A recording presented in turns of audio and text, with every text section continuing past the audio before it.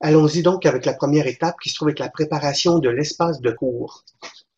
Donc, euh, on veut utiliser Moodle en formation à distance. Donc, on veut avoir un espace sécurisé, privé, pour pouvoir accompagner nos élèves dans leurs apprentissages. Il nous faut ce qu'on appelle dans le langage Moodle, il nous faut un cours, c'est-à-dire un espace où on occupe le rôle d'enseignant, dans lequel on va pouvoir y déposer des ressources, des activités, et dans lequel les élèves pourront donc euh, apprendre et nous transmettre leurs devoirs et tout cette première étape d'obtenir l'espace de cours, euh, j'ai mis en place deux, deux façons de procéder. Je suis donc connecté.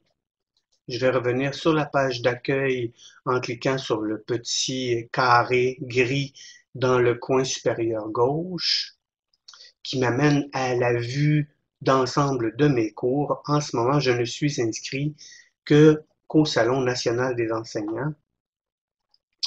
Je veux donc me créer un nouveau cours. Ce que je vais faire, c'est que je vais aller dans la zone navigation. Donc, j'ai un bloc dans le bas ici qui s'intitule Navigation, que vous voyez dans le coin ici. Et là, en ce moment, je suis sur ma page et à la place, ce que je vais faire, c'est que je vais aller sur Accueil du site.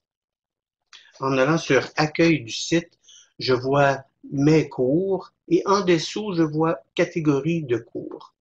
Alors, la création d'un cours va se faire à partir d'un bouton qui est situé dans la catégorie divers. Donc, je vais dans la catégorie divers et dans le bas de la catégorie divers, je retrouverai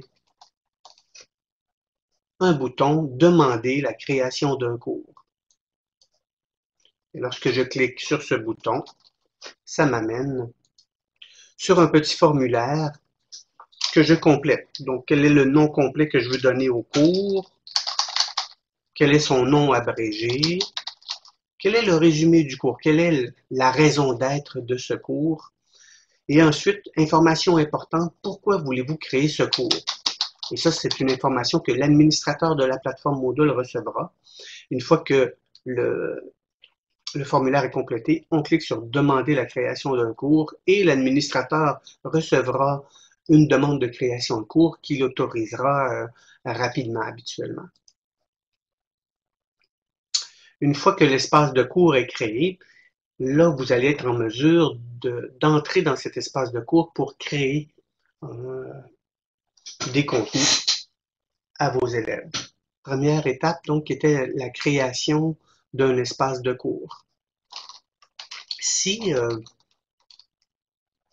s'il est possible d'utiliser un espace de cours commun, Hein, parfois, ça va être avantageux parce que la formation à distance à Québec puis à Montréal pour un cours donné, ça se ressemble un peu.